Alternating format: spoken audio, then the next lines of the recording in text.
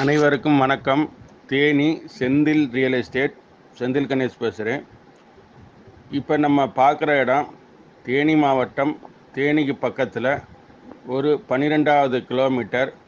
கண்டம்னூருக்கு பக்கத்தில் ஒரு தென்னந்தோப்பை பார்க்க போகிறோம் இந்த தென்னந்தோப்பு மொத்தம் பதினாலு ஏக்கர்.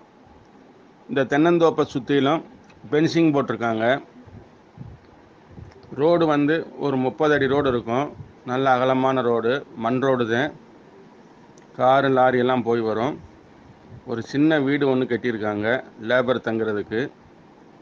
அதுபோக ஒரு ஃப்ரீ சர்வீஸ் இருக்குது ஒரு கிணறு இருக்குது கிணத்துலேருந்து தண்ணி எடுத்து இந்த மரங்களுக்கு பூரா ட்ரிப்பு மூலமாக தண்ணி பாய்ச்சிக்கிட்டு இருக்காங்க.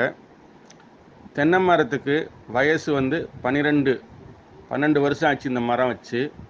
நல்ல காப்பில் இருக்குது இது வரைக்கும் தண்ணி நல்லா போதுமான அளவாக இருக்குது மரம் நல்லா இருக்குது மொத்தம் ஆயிரத்தி இரநூறு மரம் இருக்குது விலைன்னு பார்த்தீங்கன்னா பதினஞ்சு லட்ச ரூபா ஒரு ஏக்கர் ரேட்டு சொல்கிறாங்க பேசிக்கிடலாம்.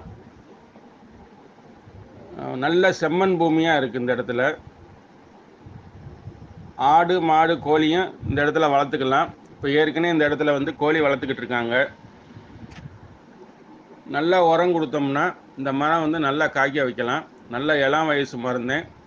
விலையும் தாரணியாத்தையும் சொல்கிறாங்க ஏக்கர் பதினஞ்சு லட்ச ரூபாதையும் சொல்கிறாங்க மண் வந்து செம்மண் பூமியாக இருக்குது நல்ல சுத்த செவல் பூமியாக இருக்குது ஃபைனலாக பதினஞ்சு லட்ச ரூபா சொல்கிறாங்க வாங்க பேசிக்கலாம்.